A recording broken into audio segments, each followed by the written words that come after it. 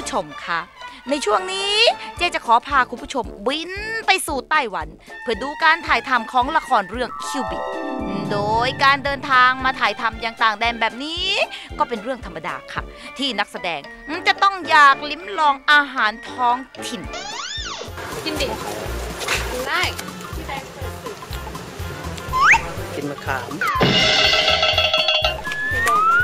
อร่อยไหมเปรี้ยวไหม พริกเผ็ดว่ตายตายมะขามจี๊ดเนี่ยนะท้องถิ่นมากทีเดียวเชียวเอ๊ะน้องคะ ลักษณะนี้เจ๊ว่าหากินเอาตามตลาดนัดบ้านเราก็ได้มั้งคะเนี่ย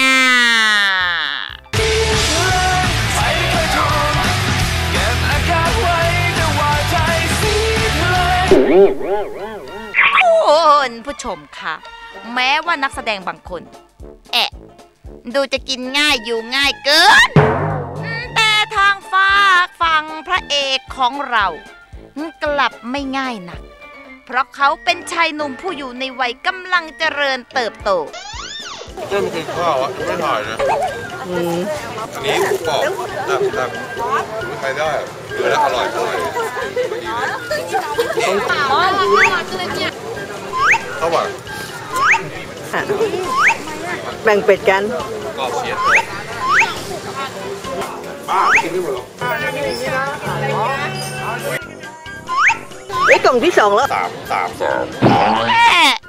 เขาก็เลยต้องรับประทานข้าวถึงสามกล่องเลยทีเดียว เอะอะอายุคะท่าทางว่าจะต้องหักค่าตัวพระเอกมาเป็นค่าอาหารแล้วนะคะอ่า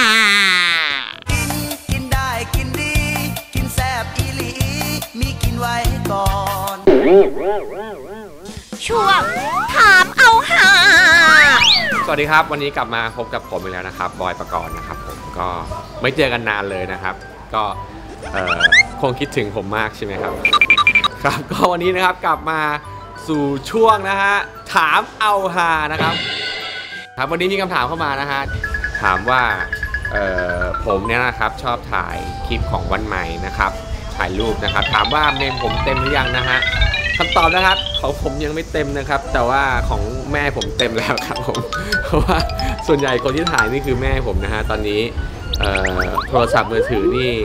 ถือว่าเป็นสิ่งที่เชื่อมอยู่กับมือของแม่ผมแล้วนะครับ เป็นอวัยวะที่ 33 นะครับ เคยสร้างสถิติแล้วนะครับ ซื้อเครื่องใหม่นะครับ 64 กิกก็สามารถเต็มได้นะครับ ภายในเวลาเวลา 3 อาทิตย์นะครับผมฮะวันใหม่ล้วนๆครับผม ถ่ายวันนี้กี่รอบอะ ครับผมก็ถ่ายน้อยนะครับ เพราะว่าผมก็ออกมาทำงานนะครับ แต่ว่าแม่นะครับถ่ายทั้งวันเลยนะเรียกได้ว่า 24 ชั่วโมงนะครับ ผมแม้แต่ตอนนอนก็ยังถ่ายแล้วบอยชอบเล่นอะไรครับ ก็ตอนนี้คลิปที่กำลังมาแรงเลยนะครับ ตอนนี้นะครับคลิปเอาฮานะครับ ผมของวันใหม่ก็คือคลิปเก็บขี้หมานะครับ ถือได้ว่าเป็นงานอดิเรกชิ้นใหม่ล่าสุดของ คุณวันใหม่นะครับ วันใหม่ก็เรียกร้องให้ผมกับแม่พาไปดูน้องหมานะครับ แล้วก็เขาก็เห็นขี้หมานะครับ กองอยู่ในห้องน้องหมานะครับ คือวันใหม่เนี่ยเป็นโรคแพ้ขี้หมานะครับ คือเขาจะเป็นพวกที่แบบเหม็นขี้หมามากอะไรเงี้ยเขาก็เลยบอกแม่ว่าให้เก็บขี้หมาแม่ก็เลยฉีกกระดาษมาให้ฉีกกระดาษมาแล้วก็ผมก็เลยยื่นให้เขาอะไรเงี้ยเขาก็เลยเขาเพิ่งเคยทำครั้งแรกเขาเห็นคนอื่นทำบ่อยอะไรเงี้ยเขาเลยอยากลองทำดูบ้างครับก็ สุดยอดมากวันใหม่คุณเก็บขี้หมาได้ฮามากครับผม กลับมาพบกันใหม่นะครับ กับช่วงถามเอาฮานะครับผม